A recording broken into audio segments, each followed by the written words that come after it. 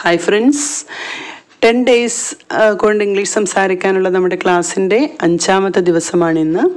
ഏകദേശം നിങ്ങൾ would should അതുപോലെ സെന്റൻസ് കൺസ്ട്രക്ഷനിലൂടെയൊക്കെയാണ് ഇപ്പോൾ കടന്നുപോയിക്കൊണ്ടിരിക്കുന്നത്. അപ്പോൾ അവസാനമായിട്ട് കൊടുത്തിരിക്കുന്ന എക്സസൈസ് പ്രത്യേകം ശ്രദ്ധിക്കുക. തീർച്ചയായിട്ടും ആ എക്സസൈസ് ചെയ്യുമ്പോൾ നിങ്ങൾക്ക് നല്ലൊരു ഇമ്പ്രൂവ്മെന്റ് ഉണ്ടാവും.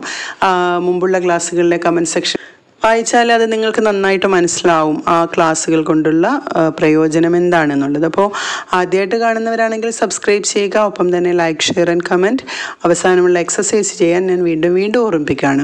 അപ്പോൾ കഴിഞ്ഞ ക്ലാസ്സിൽ നമ്മൾ പഠിച്ചത് അവൻ പോകുന്നു വരുന്നു എന്നുള്ളതിന് പറയുന്ന ചെറിയ ചെറിയ സെന്റൻസുകളാണ്. അതുപോലെ ഇപ്പോൾ അന്ന് ഞാൻ പറഞ്ഞിരുന്നു അവൻ സഹായിക്കുന്നു എന്നാണെങ്കിൽ ഐ ഹെൽപ്പാണ്.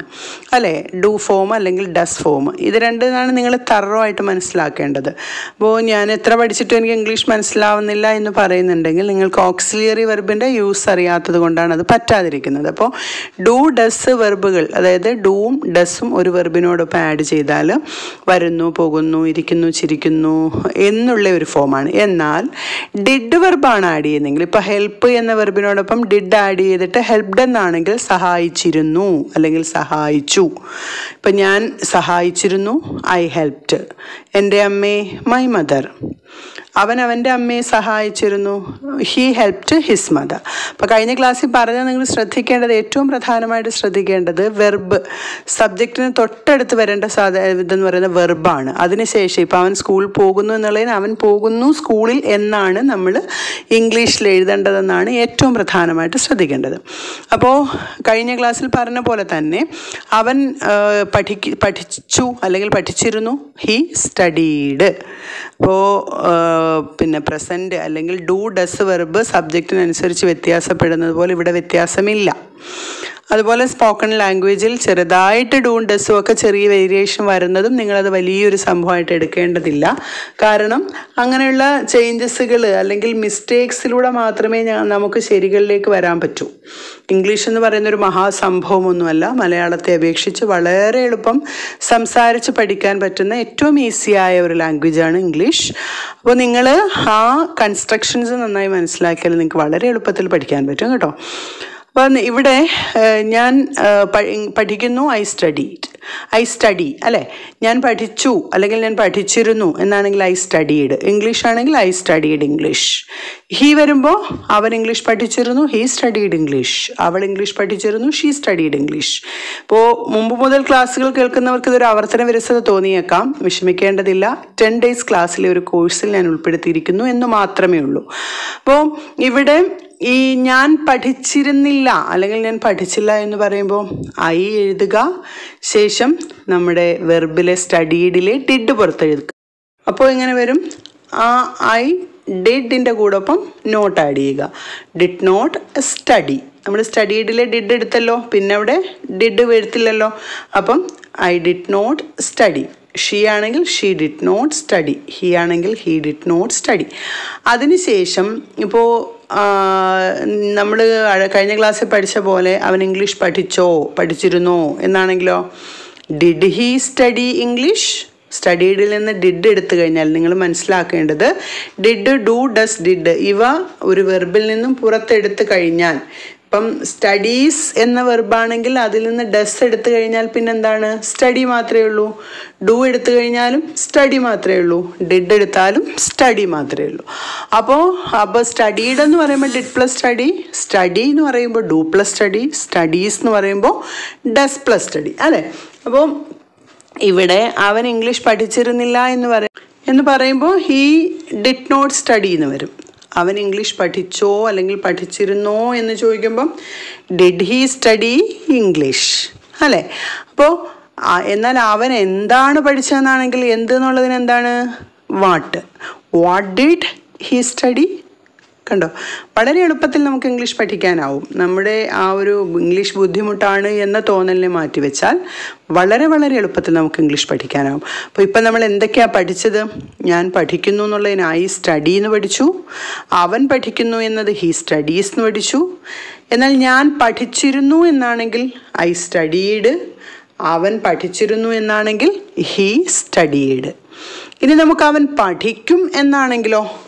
ഇതിൽ നിന്നെല്ലാം വ്യത്യസ്തമാണ്. ഇപ്പം നമ്മളെപ്പോഴും പറയാണ്ട് ഞാൻ നിന്നെ കൊല്ലും ഐ വിൽ കിൽ യു നമുക്ക് നല്ലപോലെ അറിയാം ആ ഒരു സെന്റൻസിൽ ഐ വിൽ കിൽ അപ്പോൾ ഇവിടെ വിൽ അല്ലെങ്കിൽ ഷോൾ ആഡ് ചെയ്താൽ ഒരു വെർബിനോടൊപ്പം ആ വെർബിനകത്ത് വേറെ ഒന്നും ആഡ് ചെയ്ത വെർബ് ആവരുത് കേട്ടോ അത് ഓർക്കണേ.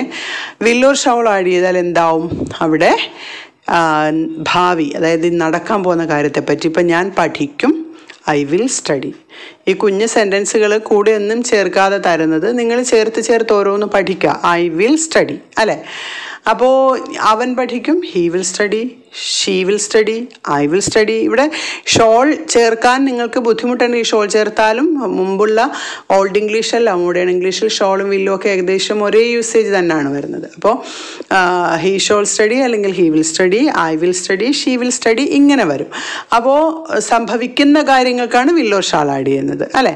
അപ്പോൾ ഇപ്പോൾ നമുക്ക് ഇപ്പോൾ ചെയ്യുന്ന കാര്യങ്ങൾ അതായത് പ്രസന്റിലെ കാര്യങ്ങൾ പഠിക്കുന്നു പോയിരുന്നു സോറി പോകുന്നു വരുന്നു ചിരിക്കുന്നു കളിക്കുന്നു എന്നതും. എന്നാൽ പഴയ കാര്യങ്ങൾ പോയിരുന്നു വന്നിരുന്നു ചിരി എന്താ സംസാരിച്ചിരുന്നു എന്നൊക്കെയുള്ള കാര്യങ്ങളും പഠിക്കും ചിരിക്കും സംസാരിക്കും എന്ന കാര്യങ്ങളുമെല്ലാം നമ്മളിപ്പോൾ പഠിച്ചു കഴിഞ്ഞു ഇല്ലേ? അപ്പോൾ ഈ ഒരു ഈ മൂന്ന് രീതിയിലുള്ള ഫോമുകൾ ഉപയോഗിച്ചുകൊണ്ട് തന്നെ ആക്റ്റീവായി നിങ്ങൾക്ക് സംസാരിക്കാൻ പറ്റും. മാക്സിമം അതായത് ഇതോടൊപ്പം പിന്നെ നമുക്ക് പഠിക്കേണ്ടത് ക്വസ്റ്റ്യനും കമാൻഡും ഒക്കെയാണ്. അതും വളരെ സിമ്പിളായ ക്ലാസ്സുകളിലൂടെ ഞാൻ തൊട്ടടുത്ത വീഡിയോകൾ ഇടുന്നതായിരിക്കും. അപ്പം ഈ മൂന്ന് മൂന്ന് രീതികൾ ഈ ഒരു എന്തായത് ഇപ്പം I study I do not study he studied he did not study she will study അപ്പോൾ എന്ത് വരും? അവിടെ നോട്ട് ആഡ് ചെയ്ത് പറഞ്ഞേ ഷീ വിൽ നോട്ട് സ്റ്റഡി അല്ലേ? അപ്പോൾ ഇത് തന്നെ തിരിച്ച് ഇപ്പം ഞാൻ പഠിക്കും നീ പഠിക്കുമോ എന്നാണെങ്കിലോ? Will you study will he study will she study കണ്ടോ? ഈ രീതിയിൽ നമുക്ക് ക്വസ്റ്റ്യനും ആക്കാം. അതുപോലെ നോട്ട് ചേർത്ത് നെഗറ്റീവ് സെന്റൻസും ആക്കാം. സാധാരണ സെന്റൻസുകളും ആക്കാം. അപ്പോൾ ഈ മൂന്ന് രീതിയിലുള്ള സെന്റൻസ് കൺസ്ട്രക്ഷൻ ഉണ്ടെങ്കിൽ തന്നെ ഇംഗ്ലീഷിലെ മാക്സിമം നമുക്ക് സംസാരിക്കാൻ സാധിക്കും. അപ്പോൾ നിങ്ങൾ ഇനിയുള്ളത് എക്സസൈസാണ് ഞാൻ ഒരു സെന്റൻസ് പറയും. അതിന്റെ മൂന്ന് ഫോമുകളും നിങ്ങൾ എഴുതാൻ ശ്രമിക്കുക. ഓക്കെ?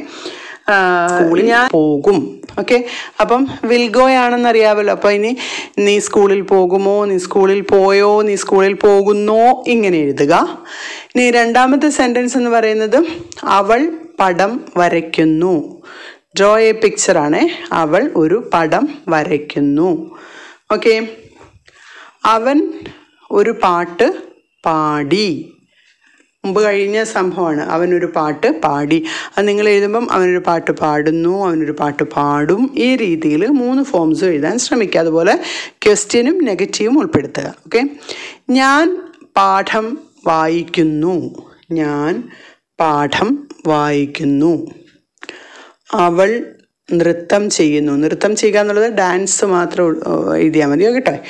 അപ്പോൾ അവൾ നൃത്തം ചെയ്യുന്നു എന്ന് പറയുമ്പം ഷീ ഡാൻസസ് നൃത്തം ചെയ്തു ഷീ ഡാൻസ്ഡ് നൃത്തം ചെയ്യും ഷീ വിൽ ഡാൻസ് അപ്പോൾ ഈ രീതിയിലാണ് ചെയ്യേണ്ടത്. അപ്പോൾ ഈ ആദ്യമായിട്ട് കാണുന്നവരാണെങ്കിൽ ചാനൽ സബ്സ്ക്രൈബ് ചെയ്യണേ. ഒപ്പം തന്നെ മാക്സിമം ഫ്രണ്ട്സിലേക്ക് ഷെയർ ചെയ്യുക. ഈ ടെൻ ഡേയ്സ് കൊണ്ട് മാക്സിമം നിങ്ങൾക്ക് ഇംഗ്ലീഷ് സംസാരിക്കാനുള്ള എല്ലാ വശങ്ങളും ഞാൻ ശ്രദ്ധിച്ച് ഒരു കോഴ്സായി തന്നെ തരുന്നതായിരിക്കും. Thank for watching signing off